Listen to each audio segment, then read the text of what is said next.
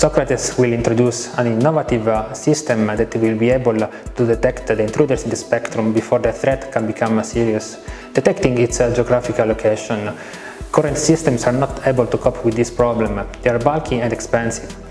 Socrates uh, will introduce a disruptive Internet of Things architecture that will leverage emerging trends in science and technology such as big data, deep neural networks and crowdsourcing.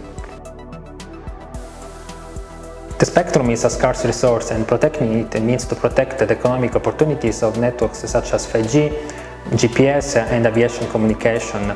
However, with today's uh, cheap technology and online instructions, it's very easy for attackers uh, to create uh, disruptive uh, problem uh, to this communication. Um, examples are, for instance, uh, fake cellular towers that can intercept traffic from mobile devices and um, jammers that can uh, de destroy the communication of drones.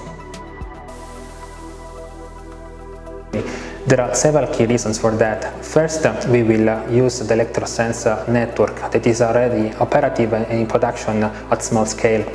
Second, we are collaborating with partners such as KU Leuven and ElectroSense, and we have a long-lasting collaboration with them, and this will allow a smooth start of the, of the project.